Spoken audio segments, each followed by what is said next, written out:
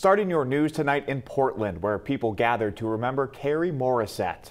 Morissette was the former director of the Church of Safe Injection.